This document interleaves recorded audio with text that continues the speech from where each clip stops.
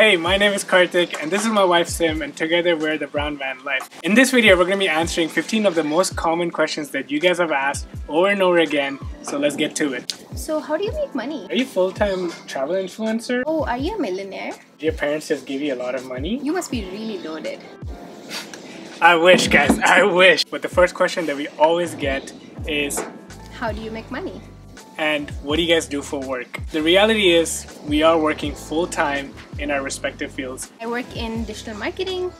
and I'm a freelance IT consultant. As much as we would love to be full-time creators, our income is not dependent on creation so far. Just yet, Just if you yet. guys stick around with us long enough, maybe that dream could be a reality one day. We might be able to say we're full-time content creators. The immediate question is that how do you find these jobs? So let us take you through our journey on how we started off. So the first step towards a journey into remote working was switching our career to more skill related roles rather than people oriented roles. So for example, instead of being a manager, we started focusing on technical skills, started specializing in search engine marketing instead of being an account manager. In my case, instead of trying to progress into, let's say, a project management role or a manager role, I started going deeper into the technical aspect of the software that I specialize in. And then the next step was to finding a remote job. We started off way before COVID, so we have been working remote since 2018. Our process was different. Back in those days, there were not that many remote jobs, so the approach we took was we started applying for jobs outside our city and started giving interviews. And uh, of course, there were so many, many, many rejections, but after like 10 rejections, there was one call where they really liked us and they were they didn't care what our geographic location was and hired us to do the job and that's how it started for me Yeah, to elaborate on that, I started seeing how Sim got a remote job and I was really jealous that she didn't have to go into the office to do her work. So I started doing the exact same thing. I started applying for jobs all the way across in Vancouver, which is from the other side of the country. And eventually, after many, many rejections, like Sim said, I finally landed a job where they actually did not care. I convinced them that I can do the same job even better than I would be able to do it in person because that's my working style that I prefer. And they just took a chance on me and gave me the job, and I was able to build up on my remote working skills ever since then. However, in the past two years, as you guys might have experienced yourself, remote working is way more acceptable now by more and more companies, allowing their workforce to work remote and from home. i think when we started the ratio was like 80% full-time jobs, 20% remote, and now it's the other way. 80% jobs are remote and 20% full-time. In fact, when we were working remote back in those days, our parents were like confused. Do you even have jobs? Why are you sitting at home?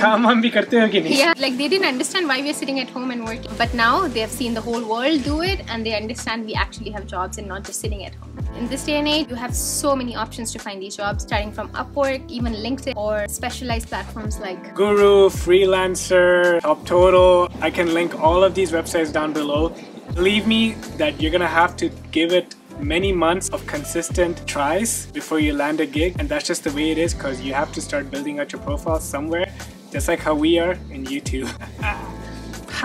this follows up to the next question Are you a freelancer and how many hours a week do you work? So, yes, I am a freelance IT consultant, and the number of hours I work in a week really varies on the project load that I have going on. But on average, I can say that there's at least minimum of 40 hours of work going on in a week, which is equivalent to your normal full-time hours. Sometimes it can even vary. It can go more and it could even go less. Uh, for me, think, uh, it's a little different. I'm an independent contractor. What that means is my hours are fixed in a week. I have to have a minimum of 20 hours, 30 hours, 40 hours, like fixed minimum salary I'll earn. So that's the difference. The next question is how do you manage work-life balance while traveling and working full-time? This is a very heavy question, so I'm trying to simplify it. Basically, it involves a lot of planning, like planning, planning, planning. Three core things that we need to plan. First is what's the dog? There's a kid crying in the background. Three core things that we try to plan. First is we try to plan our itinerary.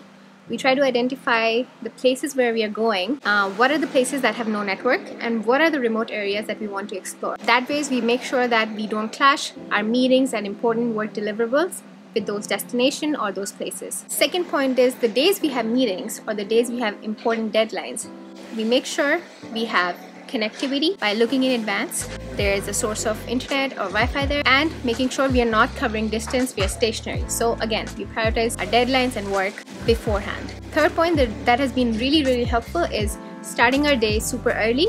So when we start our day by 7 a.m., by 1 p.m. we have already put in 6 to 7 hours of work which gives us enough time to do things that actually make us happy while traveling. A sunset hike with Everest, exploring a new destination, things like shooting content and doing photography. And that way we make sure we are being responsible towards our work and enjoying traveling at the same time. So what do you do when you're in a beautiful place and you do not feel like working?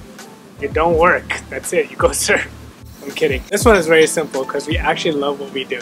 But there are those days where you're completely occupied by work and you are in a beautiful place. That's the beauty of van life. You can stay there as long as you need to and enjoy the place once you have no work to do. The next question is, is our work flexible?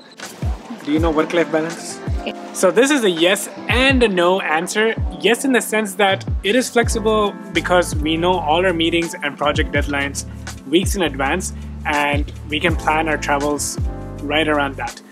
But also the major advantage of this flexibility is that there are some activities and things that need to be seen in the daytime. So we don't do any work in the morning and the flexibility comes into play where we can instead go and do, do the travel in the morning and dedicate our nighttime for the working tasks that we have pending. And no, in the sense that we do have strict deadlines and deliverables to follow and we're responsible enough not to miss them. The next question is Does the constant moving and the time zone change impact our work? Technically, no, because we are traveling across Americas and the most time difference we can experience is plus or minus two hours between Central, Pacific, and Eastern time zone. So the two hour plus minus time difference we can easily manage by waking up two hours early or staying back two hours late. This is one of the key questions and it is how do you manage internet? There are two sources of internet we mainly rely on. The first one is every time we enter a new country, we always make sure we buy their local SIM card. And not just one. Me and Sim both have a SIM card from a different carrier each, just so that in case one network goes down, we always make sure the other one is still active. And these SIM cards, we simply just use our mobile phones to use as hotspot devices to connect to our laptops. The second method is to rely on public Wi-Fi. You'll be surprised, all over the Americas, public Wi-Fi's are easily available in every single restaurant and cafe you go to. To make sure that your internet is efficient enough to complete the work that you need to, we have three major tips. The first one is to use this website called nperf.com, which is short for network preference. This website basically tells you which area has reliable 3G or 4G connectivity. The second tip is that once you make it to the location that you're going to work in, make sure you do a speed test. Use speedtest.net and make sure that the speed is at least 5 Mbps. This is going to allow you to do smooth Zoom calls. The last and final tip is that because you're working with a lot of different clients, make sure you invest in a reliable and secure VPN. VPN basically lets you secure your data when you're connected to public Wi-Fi as often. Our next question is how do you manage work calls? Well, of course, the crucial part of a work call is managing internet, but on top of that, you have to make sure your sound quality is really good. So for that, we have taken two steps. First is investing in a good noise cancellation headphones and the one we picked was this Jabra headphones. These are really, really good because sometimes you're in outdoors and there could be a dog barking, a rooster, or just wind. These headphones cancel everything out, so they work amazing. And on top of that, we have also installed this plugin in our laptop called Krisp. It does the same thing, cancels out any other noise in the background. So these two combined together, we have managed to execute calls in really, really noisy environments without any issues. next question is a very interesting one. Somebody asked us, how do you manage your bad days at work? Now, bad days at work happen in every work environment. This is no less for us also. We've definitely had a few of those since we started working remote. What causes our bad days is a, a, a day where we have major connectivity issues and our calls get dropped off and we don't like those days at all. These days can happen even when you are sitting at a home or office and we take them as just technical difficulties or network issues. So the next best thing we could do to tackle this is we inform our team we are having a technical issue, we relocate to a place with better network, and we ca catch up on the missed work and just move on with the day because this can happen anywhere in the world. Next question is, doesn't it get exhausting and stressful to plan out every single day? I'll be honest, yes, it completely does. It used to get us really stressed about making sure that we're in good connectivity places whenever we had a work day. But now, since we've gained so much experience doing this, we just know that this is the kind of lifestyle that we've chosen to live, and this part of planning comes with it. So, one of the major things that we've changed over the past few countries is that we make sure that we do not cross into a new territory where things are brand new on a work day. We make sure that we always do this on a week weekend so we have enough time to set up and make everything work for the coming uh, for the following week where work is going full force. So basically over the past 18 months we have figured out what part of that this process stresses us out the most and we have come up with solutions for them which we are sharing with you right now to make sure that this lifestyle does not add up stress into our day-to-day -day routine. Do you sit in the van and work all day? No, the only time we are sitting in the van and working is if it's raining outside, it's really bad weather, we're in a really noisy environment and there's no other quiet place, that's when we come inside the van and work. And the beauty of van life is we literally work in some of the most scenic places from the most beautiful coffee shop, beaches and that's what makes our work so much more enjoyable because the scenery keeps changing and uh, we absolutely love it. Last and final question is do people take you seriously at work because you're traveling all the time?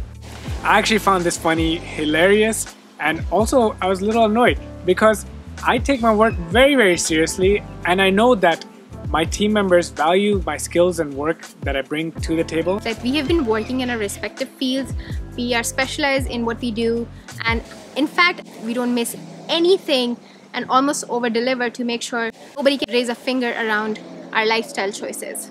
Finally, I think it's important to say that if you're working at a workplace that doesn't value the work you do just because in the location you're in, then this lifestyle might not be the choice for you.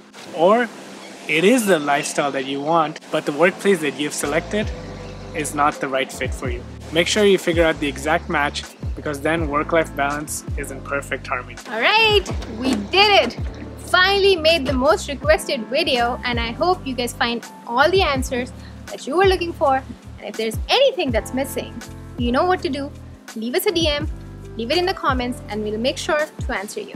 I hope you guys enjoyed this video and if you did, make sure you subscribe to this channel because we are bringing you guys videos every single week, minimum one video, and we have a crazy goal for this year to reach at least 50,000 subscribers. So hit that subscribe button, help us out, if you guys love us and we're gonna see you guys in the next video. Bye!